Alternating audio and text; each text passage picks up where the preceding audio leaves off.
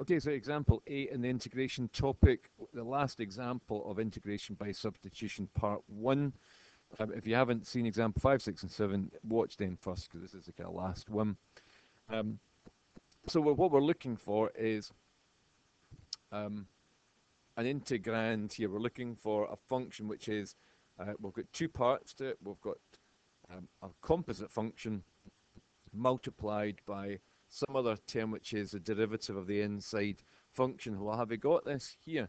Well, if we rewrite it, it might be a bit more obvious. We've got the integral of uh, 6 e to the x multiplied by, not divided by, multiplied by 3 e to the x plus 1 to the power negative 1. And if you write it in that form, it seems a bit more obvious that we've got the, the same uh, arrangement as we did in the previous examples. This looks like um, because of the fraction here, it looks different. Oh, we can't use that. It doesn't look like it's a composite function here. That doesn't look like a composite function, but it is because it's to the power negative 1. So now we've got things looking a bit more familiar. We've got a composite function here, and the 6e to the x is a kind of derivative of um, the inside function here. So we can go ahead and say let u equal the inside function 3e to the x plus 1. So du by dx is the derivative of 3e to the x is just 3e to the x. Multiply through by dx. And we've kind of got something similar. Look at look back now at 6e to the x dx. We've got 3e to the x dx. So if we double that, we've got term we want, we have to double that. 2 du is what we're going to substitute in.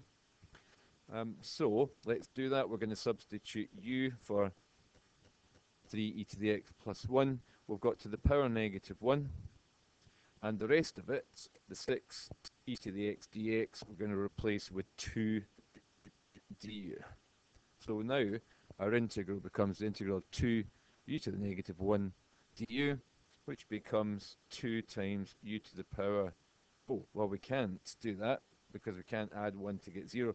You remember that the integral of u to the power negative 1 is the natural log of u plus c. So we're introducing some of our newer integration stuff. Um, which means that we've kind of got the answer there. We can't do anything more with that, but we can substitute back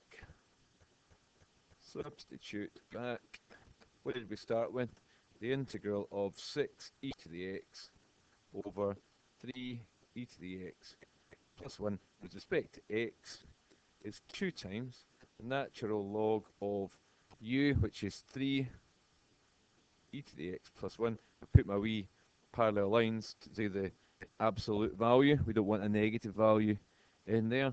Plus the constant of integration you don't know if there's a constant or not, and there's my answer. Okay, so integration by substitution part one, if you can spot when to use it, it's quite a straightforward process for something that looks kind of complicated. So hopefully that's helpful.